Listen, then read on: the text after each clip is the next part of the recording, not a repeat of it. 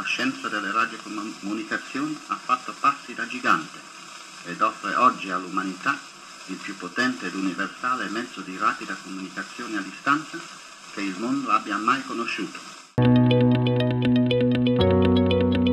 Area 051. Imma e Elena raccontano i luoghi nascosti di Bologna. Ben ritrovati ad Area 051. Abbiamo deciso di aprire questa puntata con la voce di Guglielmo Marconi, uno dei bolognesi più famosi al mondo. È grazie a lui che oggi possiamo inviare un sms o guardare la tv. Molti sono rimasti affascinati dalle sue invenzioni, tra questi un ragazzino che sui banchi di scuola cercava di imitarlo. Negli anni ha raccolto più di 2000 strumenti che raccontano la comunicazione moderna. È Gianni Pelagalli, l'uomo che ha fatto di uno scantinato un patrimonio UNESCO.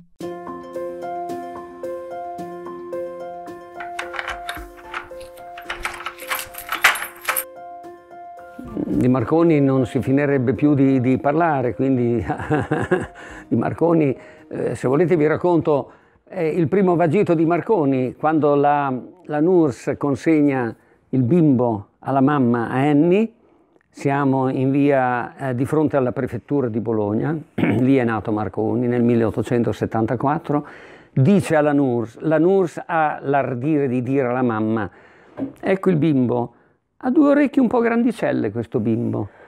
E la mamma guarda la Nurs un po', eh, come dire, sorpresa di questa sottolineatura, guarda il suo bimbo e dice, beh, vorrà dire che con queste orecchie riuscirà a sentire il rumore del silenzio. Una sorta di preveggenza, di premonizione. Marconi infatti riuscirà non a sentire, ma a vedere con gli occhi, ma forse a sentire, a immaginare con la testa quel nulla che era l'onda radio. Grazie a questa scoperta, Marconi sfrutta un'energia invisibile e inventa la telegrafia senza fili. Non contento, continua la sua sperimentazione e agli inizi del Novecento pensa di appoggiare sulle onde radio la voce. Sono lieto di poter rievocare in poche parole le esperienze delle prime trasmissioni radiotelegrafiche a grandi distanze da me felicemente eseguite attraverso l'Oceano Atlantico il 12 dicembre 1901. Queste esperienze provarono conclusivamente che la trasmissione e la ricezione delle onde elettriche non erano affatto limitate, come a quel tempo credevano tutti gli scienziati alle brevi distanze, bensì potevano essere utilizzate per le comunicazioni fra il vecchio e il nuovo mondo. Guglielmo Marconi negli stessi anni in cui Marconi cercava il modo di trasmettere un messaggio a migliaia di chilometri di distanza, un giovane americano, Thomas Edison, inventava il fonografo, uno strumento capace di catturare la voce e conservarla nel tempo. In mio figlio non credette mai nessuno. Ricordo ancora con quale sofferenza lessi la lettera che mi inviarono i suoi primi insegnanti. Vostro figlio ha problemi di apprendimento a causa di un ritardo mentale, c'era scritto. È un problema per gli altri alunni e non può più restare nella nostra scuola. Aveva dieci anni, non potevo raccontargli la verità. Gli dissi allora che per i maestri era un genio e che quella scuola non era più adatta a lui. Grazie ai suoi mille brevetti, ora però sono certa che nessuno più dimenticherà il nome del mio piccolo genio. Giovanottone Edison nel 1878 si rivolge alla nonna e dice alla nonna, nonna parla, parla forte, nonna per favore, più forte ancora, nonna. Perché sai, sto sperimentando una macchina con cui devo catturare la tua voce, conservarla ed ascoltarla anche quando tu non ci sarai più. Sapete cosa dice la nonna? Non farmi arrabbiare, non dire delle, delle cretinate, delle, delle, semenze. Sentite, cari radioascoltatori, appoggio il chiodo, il chiodo si mette a vibrare, fa vibrare il diaframma, la vibrazione viene amplificata da questa tromba a pipistrello ed ecco qua il risultato dopo 120-130 anni.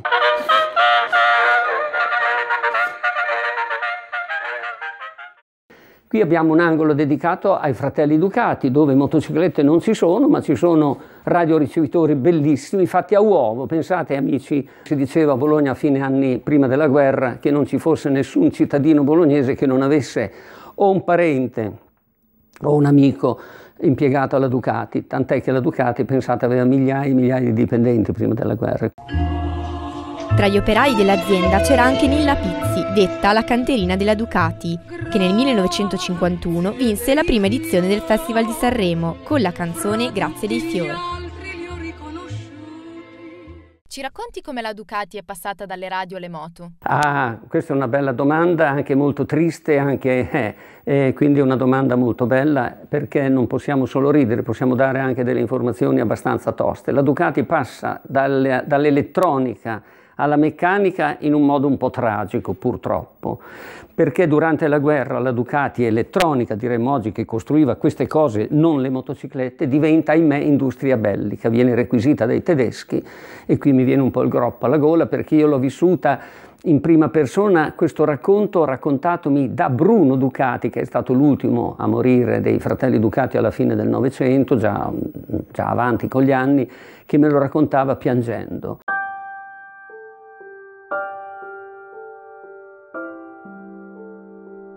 Sono Aldo Farinelli, avvocato, giornalista, ingegnere o semplicemente un amante dei motori.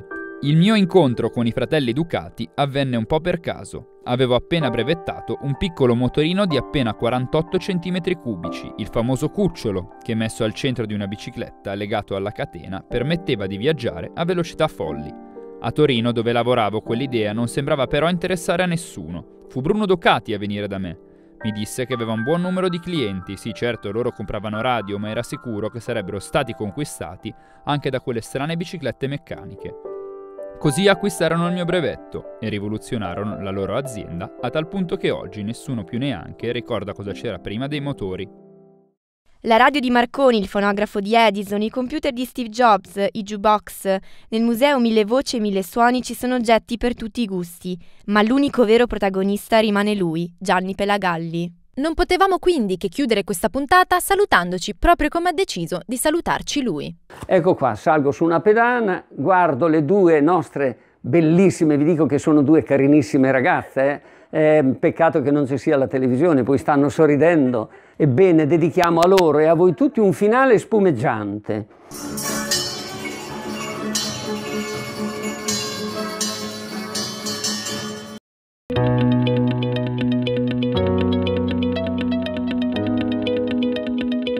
Per oggi il nostro viaggio finisce qui.